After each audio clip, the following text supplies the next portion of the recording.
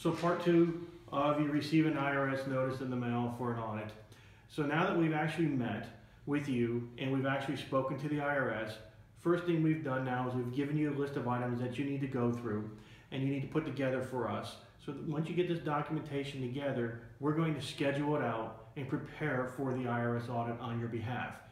You've given us a power of attorney to represent you, and now that transitions the IRS from contacting you directly or any other forwarding mail or correspondence directly to you in your mailbox or your home and allows us to communicate with them.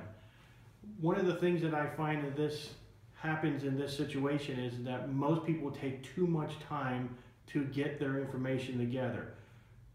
Timing is very important here, and the quicker we can get it, the quicker we can actually have the IRS resolution for you.